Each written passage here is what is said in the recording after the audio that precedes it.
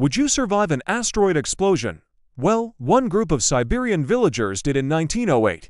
They called it the Tunguska event. It started with a strange light blazing across the sky. Witnesses in remote villages described a fiery ball, brighter than the sun, racing overhead.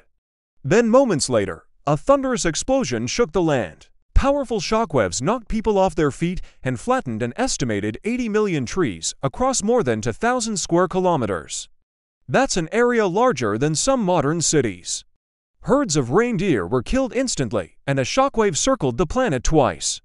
But when scientists finally reached the site decades later, they were stunned. There was no crater. Theories ranged from alien ships to volcanic eruptions, but the answer was more astonishing. A space rock, about 60 meters wide, had entered Earth's atmosphere at tremendous speed. Before it could strike the ground, the heat and pressure caused it to explode in midair, releasing energy equal to 10 to 15 megatons of TNT. That's more than 500 times the power of the bomb dropped on Hiroshima. Had it exploded over a populated city, the devastation would have been unimaginable.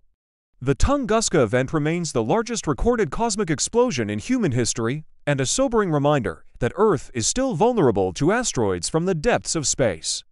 Thanks for listening to today's story.